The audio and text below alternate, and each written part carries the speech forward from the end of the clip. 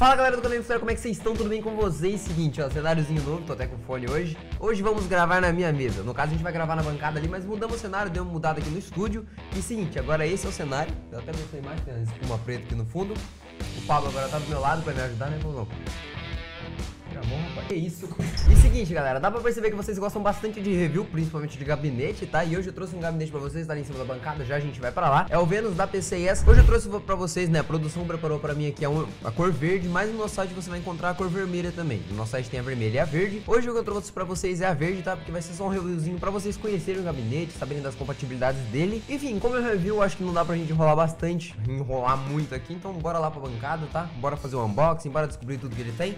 Então vambora.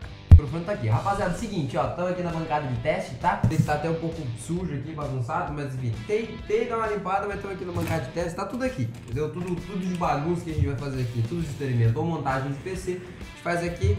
Então hoje vou abrir certo. Não, não vou abrir o estilete, não cabe, né? Vou abrir o. Galera, seguinte, já tiramos o gabinete aqui da caixa, beleza? Pode ver que ele é um gabinete pequenininho, tá? Ele é relativamente pequeno, mesmo sendo um mid tower.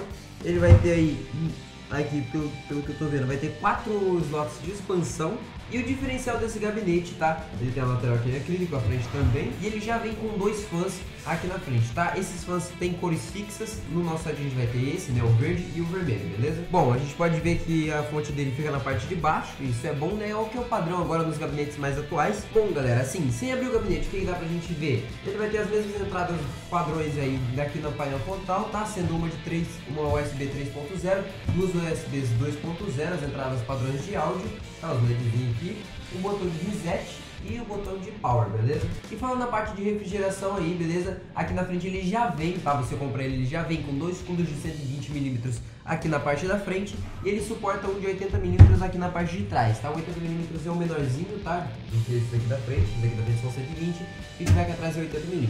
Bom, galera, acho que é por fora acho que é mais isso só, tá? Agora a gente vai ter que abrir aqui ele mesmo pra ver o que tem dentro. Galera, é o seguinte, abrindo ele, a gente vai ver aqui um manualzinho. E é o primeiro gabinete que eu vejo que tem um manual de como que você instala os cabos dele, tá falando pra você colocar o cabo na placa-mãe, ele fala certinho onde você coloca. Bem interessante isso aqui, viu? E seguinte, aqui na parte de dentro vocês podem ver, tá aqui, ele tem um espaço bom aí até, só que ele só vai estar tá suportando placas micro ATX e ITX, tá? A maioria das placas que você acha no mercado hoje são micro ATX TX, então assim, basicamente é a placa que se você for montar um PC, provavelmente você vai pegar ela, tá? A maioria das placas que você compra hoje, que são vendidas no mercado, é a Micro ATX. Inclusive tem um vídeo no canal falando das placas, de qual placa escolher, qual a diferença entre as placas ATX, Micro ATX Mini TX. Tá aparecendo no card aí pra vocês, é um vídeo ficou, ó, muito top, então corre lá e dá uma olhada, viu? Galera, é o seguinte, esse gabinete aqui vai ter 3 bases de 3.5 polegadas e 2 de 2.5. Eu até estranhei, 3 de 3.5 é muita coisa, tá? Se a gente for ver assim num gabinete que é relativamente pequeno. Eu acredito até que deu uma estética melhor aí no seu setup, tá? Pelo fato dele ser pequenininho. Mas, cara, 3 de 3.5 é bala, viu? Foi um espaço bem aproveitado aí. Aqui na parte do CPU, tá? Do CPU cooler, você vai poder colocar um cooler de até 155mm, tá? Porque senão vai bater aqui das partes de cima. Não vai dar pra você colocar um disco voador também, mas é um de 155, tá? Já é maior do que os fãs que vem aqui na frente já dá pra dar uma boa esfriada no seu PC aí, beleza? Placa de vídeo no máximo 300mm, tá? Você não vai querer colocar uma 4090 no seu PC também, mas evita. Tá? Por pouco você consegue colocar aqui, hein? Por pouco, quase, quase que você consegue colocar uma 4090 nesse PCzinho aqui. Vamos abrir a traseira dele aqui pra gente dar uma olhada? Eu tô vendo uns, uns negócios interessantes aqui. Oxi! O SSD coloca na parte de trás? Cara, muito top isso. Dá pra você colocar o SSD aqui na parte de trás. Eu até tinha visto aqui, eu não tinha entendido. Tá escrito aqui na, dentro do gabinete, na parte da frente, SSD. Mas eu não sabia que dá pra colocar na parte de trás não, hein. Da hora isso aí, da hora.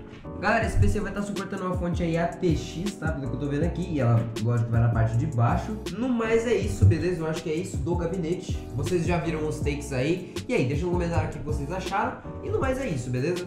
Enfim, galera, esse foi o vídeo, tá? Não esquece de deixar seu comentário aí. Não esquece de deixar like aí e seguir a gente, tá? Se você não é inscrito no canal, se inscreve aí pra gente, que ajuda bastante a gente. E seguinte, toda sexta-feira tem live, 5 horas. Se você tiver interesse aí, dá uma participada lá, que a gente sempre interage bastante com vocês, tá? Uma live bem da hora. A última live a gente fez montando um PC. No caso, foi a Bruna que montou, tá? Essa aqui é a live. E é isso. Muito obrigado por assistir até aqui. A gente se vê numa próxima aí, beleza? Valeu.